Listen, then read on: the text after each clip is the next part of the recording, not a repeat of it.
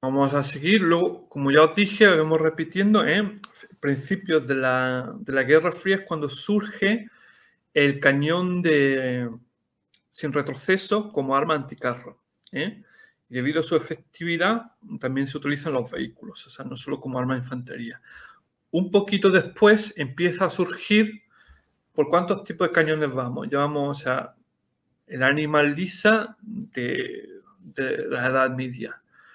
Luego ya de los tiempos de poco después de Napoleón, o sea, la era, la era industrial, tenemos ya el cañón de ánima rayada.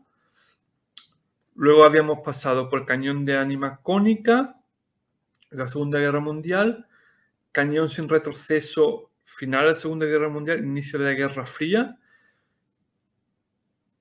Entonces ya tenemos cuarto. Ahora viene el quinto tipo de cañón, que es el cañón de baja presión. Este cañón surge, empieza a aparecer también un, un poquito, o sea, más o menos en la misma fecha, quizá un poquito más tarde, eh, empieza a aparecer el cañón de baja presión en paralelo con el cañón sin retroceso. Claro. ¿Y aquí, ¿Y aquí, por qué ocurre eso? Pues ocurre eso porque gracias de nuevo a la carga hueca. Entonces, ¿qué es lo que pasa?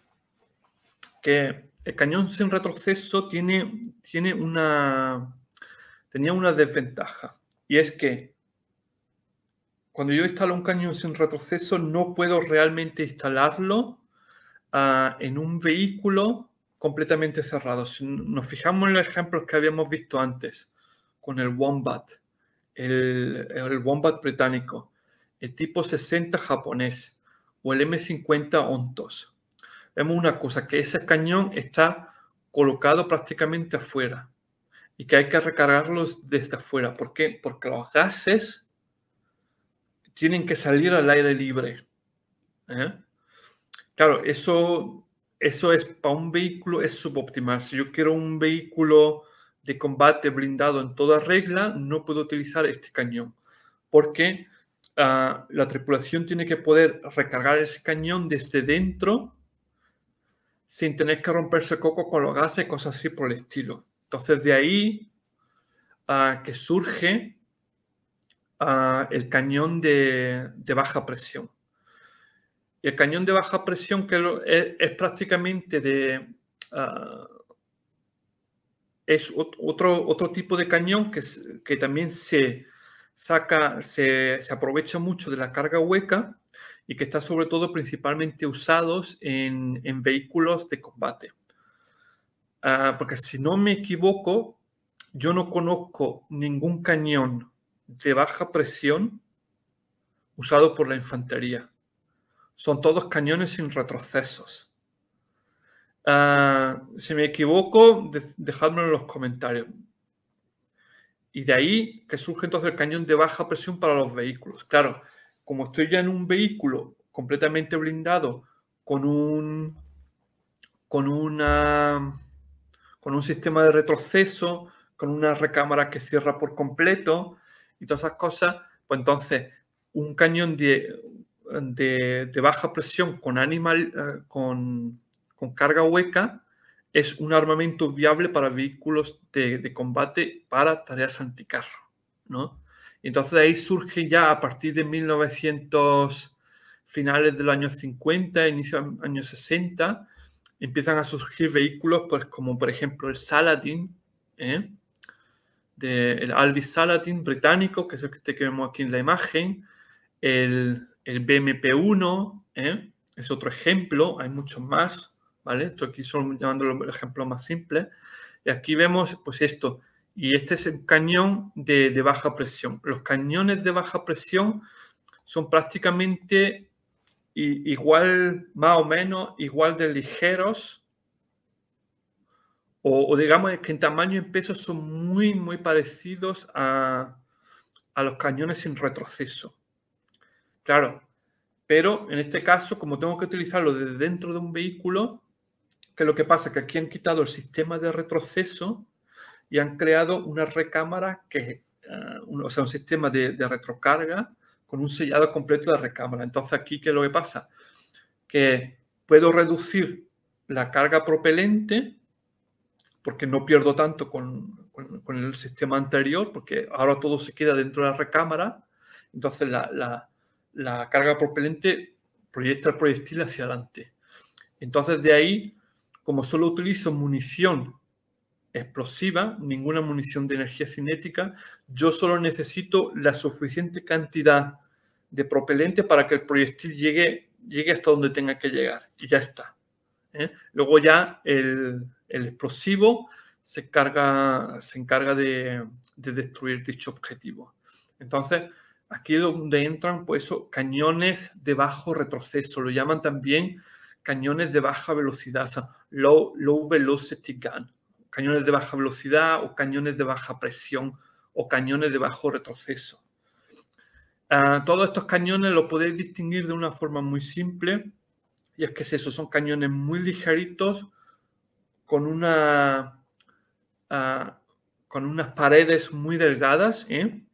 Y lo más importante, que es lo que lo califica como cañón de baja presión, es que el cañón de baja presión junto con el cañón sin, retroceso tienen la peculiaridad que no pueden disparar munición de energía cinética.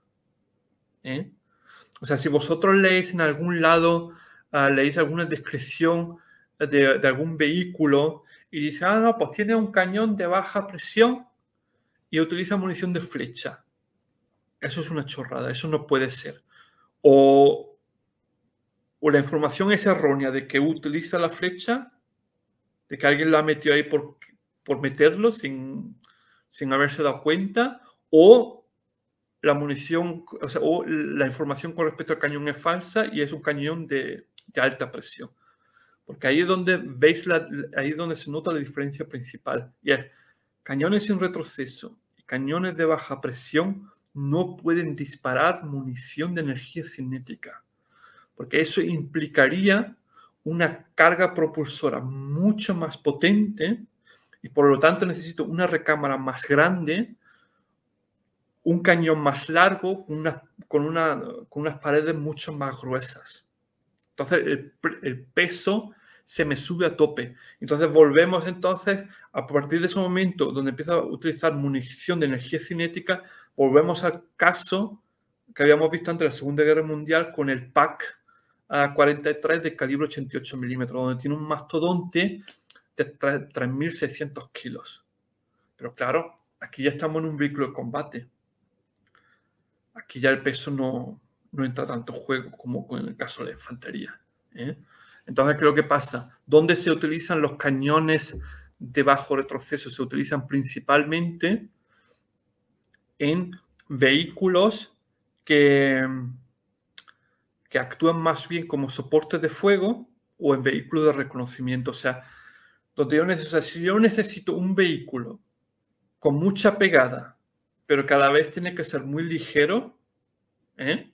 pues entonces en 99, 90% de todas las, circunstancias eh, va a ser un cañón de baja presión. ¿eh? Porque en cuanto utilizo yo un 105, un 120 milímetros de alta presión, ya necesito ya un vehículo mucho más pesado. Por el motivo del retroceso, el peso del sistema, el espacio que necesita dentro y todo lo demás. ¿Vale? Muy bien. Vamos a seguir. ¿Vale? Aquí otro ejemplo de un cañón de baja presión es el 100 milímetros del, de los BMP3 o el BMD4 que vemos aquí en la imagen. ¿eh? Aquí vemos también ese mismo sistema como es por dentro ¿eh? Ah, con el cargador automático.